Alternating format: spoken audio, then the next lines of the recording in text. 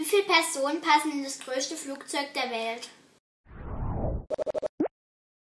Hallo Raffaela, das größte Passagierflugzeug der Welt ist derzeit der Airbus A380.